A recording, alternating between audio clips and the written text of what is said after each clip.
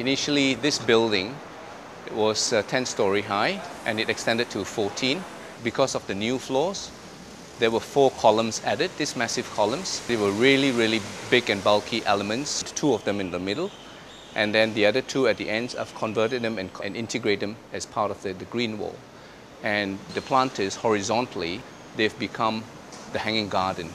So as you can see, this is exactly just about a year after completion and the plants are really looking like a, a, hanging garden as intended. So this is on level 3 we are on and it goes up to level 9.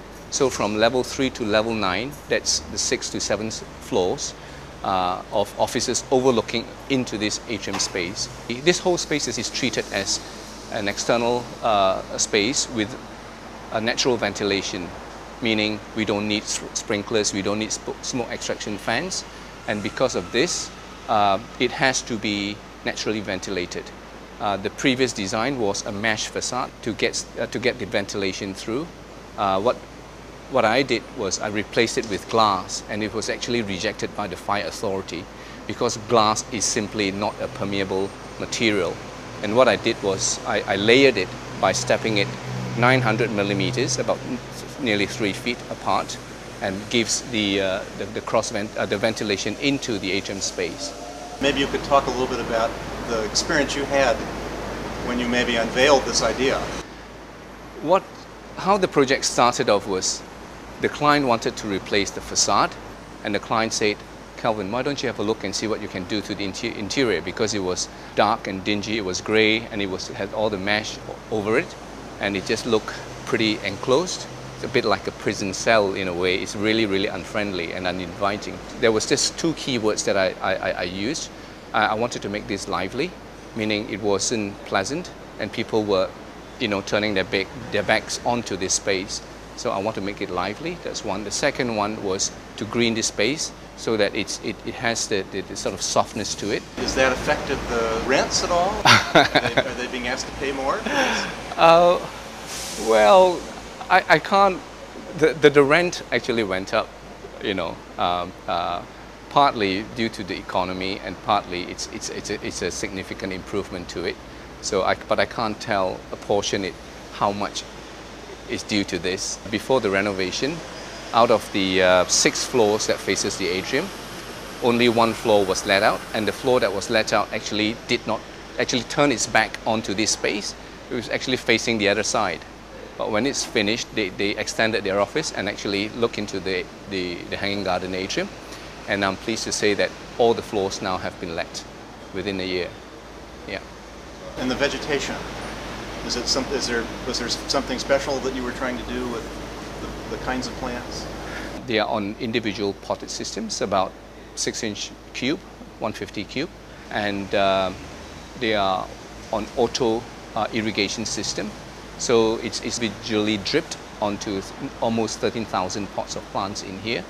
The good thing about this system is that it is individually potted, which aesthetically you can hardly see the pots now, uh, even when it was first completed. Uh, the, the, the, my main concern was the, uh, the well-being of the plants and should any of them uh, doesn't survive or, or, or doesn't look too healthy, they can be easily uh, individually changed and replaced or, or, or, or maintained. Um, so this is what I'm, uh, the first priority that I wanted. All you do is you just turn sideways and you okay. slip, slip, slip in.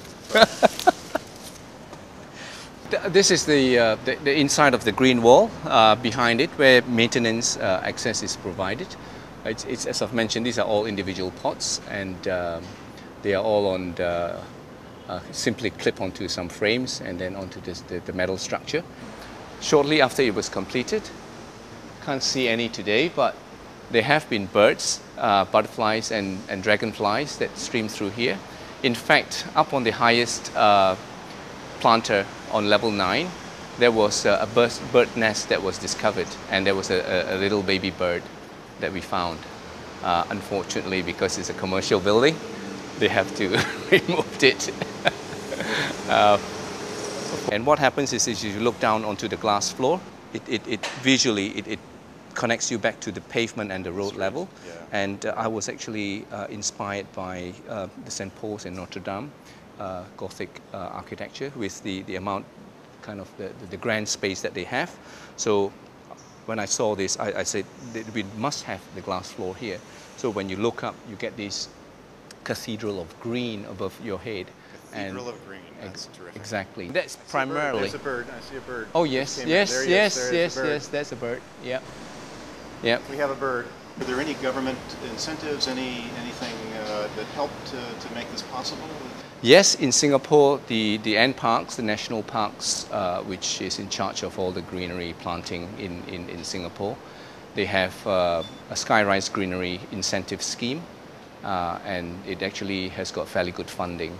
Um, is, uh, I hope with uh, 158 Cecil Street, we, we will be able to uh, get more people to be more open and receptive towards having green walls in, in, in, in a major scale. The, the, the, the fascinating thing about this building, even now a year after uh, has been finished, each time I come back, I bring my camera along because it changes and, and, and you see things that are new. So it's, it's, it's, it's, it's, it's a living wall. First one you've done? It's, your it's my first project. First yeah, my wall? first green wall. My first project since I came out into practice on my own.